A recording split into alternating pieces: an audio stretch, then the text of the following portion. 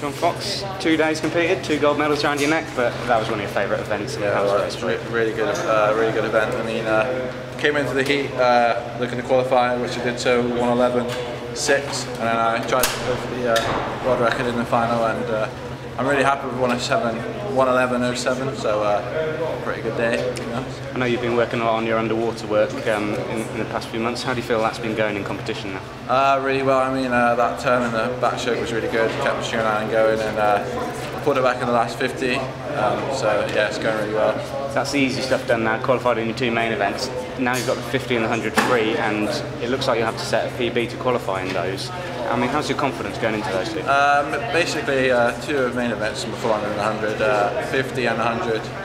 I mean, it's a bit more more, more training uh, going at home, so uh, I'm going to give it give it my best shot, and uh, it's just really just getting in there and swimming in the pool, really. Okay. Well, well done, mate. Thanks. Cheers. Thanks very much.